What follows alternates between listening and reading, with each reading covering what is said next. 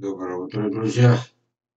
Сегодня у нас 18 марта 2023 года. Значит, я уже снял 4 фильма. Оказывается, я примерно четвертую часть показал фотографий. Хотя фильмы достаточно длинные, добротные. Это то, что уже из других садов. Но основа основ это посадочный материал железо, косточки, семечки, черенки или саженцы от сына Сергея Железова. Остановился я примерно тут. Извините, если уже показывал. Вот. Значит, получается следующее. Комментарии нужны. Персик Хасанский, Псковская область, 19 год. Смотри, сейчас это четвертый год с тех пор, как я начал собирать эти, сейчас 23 получается, начал четвертый год, как я собираю фотографии, чтобы показать, что невероятно, это настолько обыденное для нас. Смотрим дальше. Итак, Псковская область, Персик Хасанский, 19 год. Теперь, Персик Хасанский, следующее. А, Псковская область. А, все правильно. Вот это вот тоже с этого же сада этого же сада. Вот. И, наконец, то, что я считаю одним из открытий. Сейчас я объясню, что это такое. Итак, ну пусть года два-три назад я уже показывал, потом все забыли. Итак, значит, этот же Хасанский попал не просто на Сахалин, а попал в... Так, проверяю, идет запись. Запись идет. Попал в теплицу. И, и сейчас пока по памяти. Дальше я уже не помню, это было давно. Я несколько лет не открывал эту папку. И, а сейчас мы подводим итоги. Итак, он изменил окраску слегка. Он укрупнился. Вот. И получается письмо. Заметьте, я никогда не халтурю. Почему? Потому что преувеличить то, что случилось у меня и у моих друзей – и сказать, а что-то они мелковаты, у... соврем, что они больше. Это тот самый случай, когда врать смысла нет, потому что э, реальность, она оказалась реальнее фантастики. То есть у многих, вот допустим, если брать 10 академиков, самых крутых именно садоводов, да, им такое не могло прийти в голову. Так зачем что-то брать? Поехали дальше. Итак, персик хасанский, черенки клонов персика хасанский получены среди других культур от сибирского садовода Железова. Черенки привиты на вишню волосы и степную. Растут, ребята, это же учеба. Растут поликарбонатные теплицы третий год. На второй год дали урожай 4 штуки. На этом дереве был плод крупный 120-40 грамм. Заметьте, как они укрупнились. Меня же мордой тыкали, у вас 50-60 грамм, а здесь два раза больше. На другом были три плода размером с куриное яйцо. Это еще не все. Вот. Итак, вот с этого момента у меня когда таких фактов набралось много, это были факты связаны с шелковицей. Вот. На севере мелкая, на юге крупная. Вот. Что такое теплица? Для меня теплица это не просто парничок или тепличка. Нет. Это субтропики. И что получается? Почувствовав себя на родине, что они делают? Они начинают расцветать, вспоминать свои лучшие качества райские. Видели? Это одно из моих, причем учтите, я не генетик. Меня его как раз и морды это и били, за то, что ты не генетик, куда ты лезешь. А это как раз антигенетика. Попали в лучшие условия, и вдруг оказывается, что у них наследственность. Это не жесткая конструкция. У, нет. И вот результат. На третий год. Внимание! Привитый на степную вишню дает плоды крупным в среднем 200 грамм. Ну, а на фото, где моя рука, это был 220 грамм. Ну-ка, это было или будет? Ну, ладно, заберемся. Итак, по порядку. А это уже вообще не может быть. Это даже мне, если бы я хотел соврать, но я бы мог сказать 100 грамм. Но 200, еще раз, реальность превосходит фантастику. Итак, 220. Укрывая на зиму опилками в мешках. Учеба, ребята, и продолжается. Принцип описан на сайте у Пескунова, только укрывал более тщательно. Открываю первой декаде апреля или, при, или по температуре, так как бывает морозы 20 градусов. То есть видите, как он боится за них. Зацветает в конце апреля, начале мая. Единственный недостаток – нет опыления. Насекомые еще не проснулись, а то, что я сам обрабатывал ваточной палочкой, видимо, было недостаточно, поэтому завязалось 7 плодов на одном, 5 на другом. Отцвели перски обильно, веточки были облеплены нежно-розовыми цветками. В одной теплице растут и персики, и виноград, помидоры. Единственная проблема с персиками – это паутинный клещ. Приходится за сезон делать 2-3 опрыскивания. Откуда взялся, не пойму, но говорят только персик. Знаете, я ничего не утверждаю. Он добился выдающего успеха. Вот, потому что этого просто не должно было быть. Вот не должны они были увеличиться в 4 раза. Ну, не должны. Это главное, что здесь. Ну, а если говорить про технику, какая теплица у него? Внимание. Поликарбонатная. У нее есть недостаток. Обычно этих не говорю у него, но эти э, стандартные поликарбонатные теплицы, те, что рекламируют, они не имеют ничего. Они не, самое главное, форточек не имеют. Что плохо. Возможно, если бы они были более... Но тут видно, что вроде бы э, листья здоровые, при, ну, если так не приглядываться, да? Тогда получается, что, наверное, хорошо бы еще и почки иметь, если их нет. Вот. И смотрим дальше. Итак, паутинный клещ, 2-3 опрыскивания, идем дальше. Сам по себе предложение. Сам по себе не скажу, что персик прихотливая культура. Довольно просто ухаживать. Удобрения вообще не использую. Ни минералку, ни перегной. Чувствуете влияние жирного? Итак, довольно быстрый мощный рост, полив чистой водой, вот весь уход. Ну, там теплицу уже никак дождь не попадает. Прививка вырастает больше двух метров, дает веточки не только второго, но и третьего порядка. И только за одно наше короткое холодное лето, а на следующий год уже дает первые плоды. Очень скороплодная культура, совершенно верно.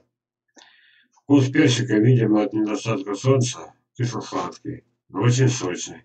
Косточка от мякоти отходит, практически на сухую, как у абрикоса. Самое главное, вкус лучше магазинных, и это в условиях Сахалина. Созревает середине августа. 17 августа плоды начали опадать, через неделю отпали, еще особенность выращивания персика в теплице – его надо сдерживать росте обрезка. И нужна очень, иначе нужна очень высокая и большая теплица, в скобках оранжерея. И персик плодоносит на побегах прошлого года, поэтому очень скороплодный. Ну, дальше была прислана такая фотография. И была подписана «Сувенир Востока, персики, абрикос». Ну, что вижу, о том пою. Вот. Ну и все-таки Сувенир Востока это мой фирменный сорт, слип, поэтому я продолжаю эту тему. А здесь слева направо ваша слива Сувенир Востока из семян, персики семян и край абрикоза тоже из семян. Чтобы увидеть бы сливу. Ну-ка, я даже не помню, что дальше будет. Заметьте, персик на улице, да, не вызревает древесина, да, отмерзают ветки на 40 сантиметров, но остальное остается, растет, причем с каждым годом все рост увеличивается. Скажете, густо посадил? Да, посадил густо. Но еще гуще, чем на фото. Каждый год слабые деревья сами освобождают место для более сильных, естественно, отбор. Вот это вот ценнейшее наблюдение, утверждение э, Виталия Шаломая. Я все время говорю, ребята, хватит, пришлите три косточки, мне нужно три дерева. Хотите иметь нормальный сад? Заказывайте косточек, семечек, 5-10 раз больше, чем надо. Не бойтесь, что лишние будут. Природа проредит. Читаем еще раз. каждый год слабо деревья сами освобождают место. Вот. Мне человек, который, знаете, как он мне, я уже говорю, ну хорошо, 6 на 4 окончательно. Нет, мне, значит, тут это самое написали, сказали, 10 на 10. А я 10 на 10 посадил. А что будет через 5 лет? 40 на 40? Пустой сад? Вот видите, Виталий какой умный мужик. Слабые деревья сами освобождают. То есть посадил густо, а там хоть трава не расти. Извините за такой э, ответ. А в итоге, что останется, то и будет расти. Вот это и есть технология Железова. Самая примитивная. Вот. Больше, кидай дальше. В таком плане. Так, идем дальше. Закончили мы разговаривать с этим Шаломаем. Вот, надеюсь, чего-то мы поняли. Вот. Ниже абрикосы Сызрани от садовода Виноградова. Черенки от Железова. Ну, потом все это еще и созрело, но на тот момент я поспешил включить в, отдел, в особую папку вот это вот. Вот это вот. Вот это вот, вот это вот. А дальше еще одна сенсация. Вот. Значит, мне пришлось напрягать память. Я не знаю, как получилось, что мне это что там в Калининградской области два уникальных садовода. Если я ошибся, принимая одно за другое, прошу меня простить, учитывая мой возраст. Свой возраст, так сказать, статистически я уже пережил. Поэтому меня можете простить. Итак, пишу от Александровой, Калининградская область, из срезанная свечи сибирского штамма с генами черешни. Вегетативный гибрид железова. То есть когда-то я брал, вот на вишне я туда 3-4 черенка внедряю черешни. Черешня или живет, или погибает. А на вишне плоды увеличиваю два раза. Но остаются вишневыми. А сенсация началась вот именно с этого момента. Вот с этого. Черенок, видите, сибирская самого, только потому, что я в нее несколько черенков привил черешни, и увидел, что потомство изменилось, и я и пишу, сибирская штамба, то есть та же самая, казалось бы, кислятина, с генами черешни. То есть в них бродит внутри крови гены черешни. Внимание! Что пишет дама? Получилось одно дерево с крупными вишнями, а другой черешня. Смотрите внимательно. Вот. Вы видите этот шедевр? Как? Вот. Ну, меня-то они скромнее. Да, это самое.